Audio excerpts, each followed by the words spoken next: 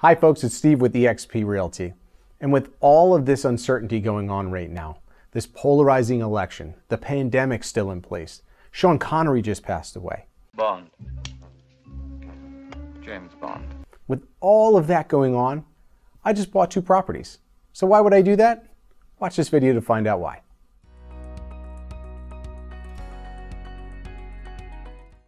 Hi folks, it's Steve and welcome back to the video blog. Thank you for watching. So I was not joking. I recently bought two properties in the past 45 days with all of these shenanigans going on in the world, and I'm extremely confident in both purchases. So I want to take you through the process used for both properties because they're very different.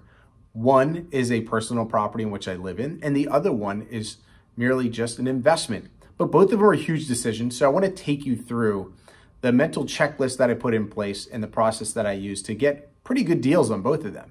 So first and foremost, let's start with the primary.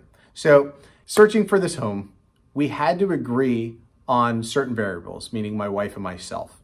Now, we are both able to work remotely for the most part. I'm working quite often remotely. Um, she's not working in the city right now, but she will eventually go back. So we took into account a few variables. The first one was how far were we willing to be from where we'll have to go back to work at some point in time.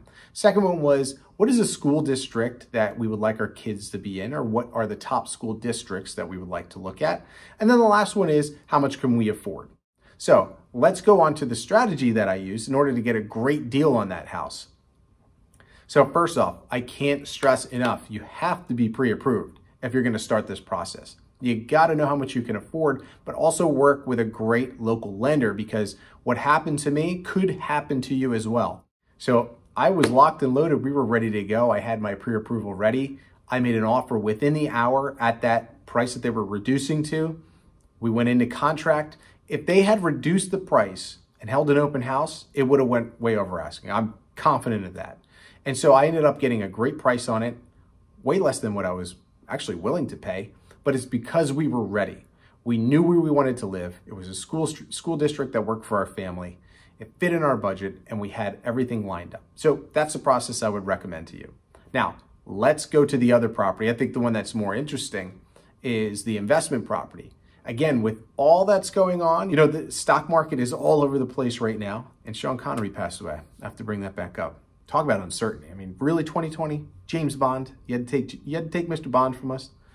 So with all this uncertainty going on, I'm actually really confident in that investment I made in Hudson County, which overall is not really a market that's very hot right now. So I want to take you through the process that I used. And if you follow my video blog, you'll know that I live in the data. I do market data reports every single month. And so I'm looking at this data, I'm disseminating what's important and really extracting which towns and micro markets are on the upswing while other ones are on the downswing. And while everybody is kind of looking towards the suburbs, um, and even past that, there's a great article about something called a Zoom town, which is an area outside of the suburbs in which people find more space than what they were looking for, for less than what their budget was, and it's significantly further from their job than they originally anticipated.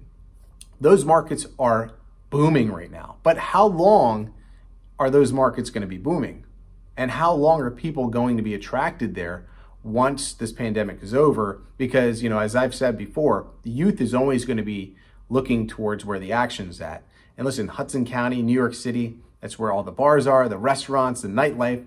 Do you think that when this pandemic is over and all these lockdowns are lifted, that the youth isn't going to want to go back to where the party's at? I don't think so. Exactly. So I'm actually more concerned about those markets. I don't know if I would in invest in those markets, but when I look at the market data report, I look at which ones are performing and one sticks out to me more than the others. I don't think it's very difficult to see Bergen Lafayette. That's where people want to be right now.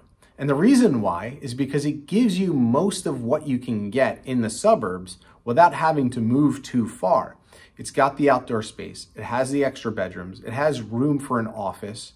It lets people also have an additional unit downstairs for rental income, or if they want to keep it to themselves right now because of COVID, they can have just family stay down there. There's just so many options with that property. Now, secondly, I also took into account, is this a property that I would want to keep long-term because we're looking at it as a flip? The answer is yes, I would keep this long term. Let's say the market pulls back and it doesn't get the price in which we need it to sell, would totally like to keep this property um, and maybe forever. Which leads me to the last point in terms of the strategy for investment.